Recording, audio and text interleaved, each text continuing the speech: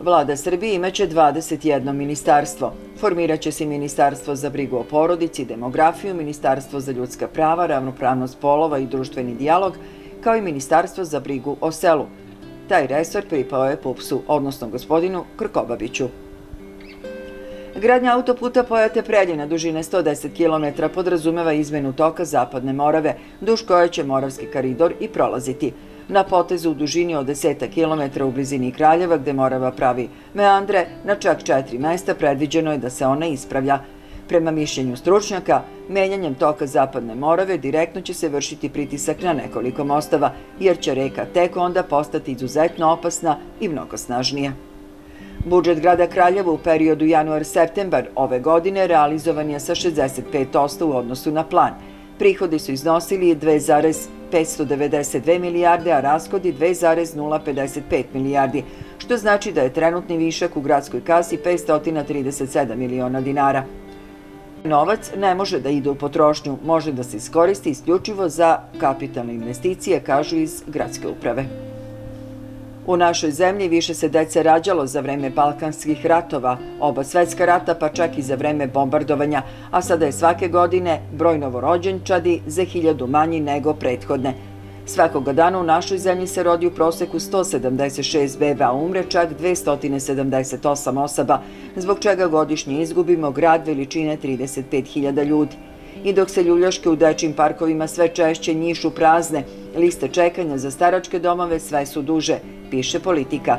Svaki peti stanovnik Srbije stariji od 65 godina, a tek svako sedme dete mlađe je od 15. Najveći broj mališana u Srbiji nema ni brata ni sestru, jer su mame i tate najčešće odlučene za samo jedno dete. Svaki treći bračni par u našoj zemlji uopšte nema naslednike. Za samo godinu dana u Srbiji je sklopljeno čak 700 brakova manje nego prošle godine, a u isto vreme razvedeno je 1000 brakova više. Kraljevina Norveška sa 510.000 evra podržava sedam projekata koji će pomoći zapošljavanje 82 mladih u Srbiji kroz unaprođenje poslovnog okruženja u manje razvijenim područjima. Projekti se realizuju u okviru programa Norveška za vas Srbija. Sve aktivnosti ovih projekata biće sprovedene do septembra naredne godine. Nacionalni park Đerdap i arheološki lokalitet Lajpenski vir ugroženi su nacrtom plana detaljne regulacije koji predlaže opština Majdanpek, a on odnosi se na izradu međunarodno pristaništa i prateće objekte koji prete da trajno unište zaštićene vrste i staništa. Kukuruz je početkom nedelje nastavio uzlazni trend da bi krajem nedelje došlo do smirivanja cena na tržištu usled povećane ponude od 18,50 do 19,40 dinara po kilogramu bez PDV-a. Pšenicom se trgovalo od 20,50 na početku nedelje do 22,50 dinara bez PDV-a krajem nedelje. Sojom se trgovalo po ceni od 46 dinara po kilogramu bez PDV-a. Skupština Slobodne Srbije predstavila je svoj program u Novom Sadu. To telo zagovara slobodu ljudskih prava i toleranciju i nudi mogućnost da se čuje glas građana, dodajući da je zajednički cilj rušenje aktualnog režima i pripremanje okvira za novi sistem koji bi bila, bila koja buduća vlast morala da poštuje.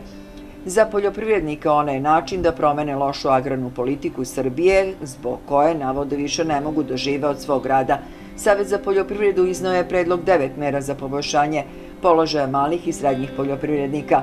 Dragan Kleut rekao je da je formiranje novog ministarstva za selo vrhunac licemerija sadašnje vlasti SNS što se tiče poljoprivrede, jer je on direktno odgovoran i što je išao na sistematsko unušenje malih i srednjih poljoprivrednih gazdinstava u Srbiji. Savet za poljoprivredu ove skupštine je doneo tačke koje bi sistemski promenile situaciju u poljoprivredi i oko toga je saglasan veći deo poljoprivrednika.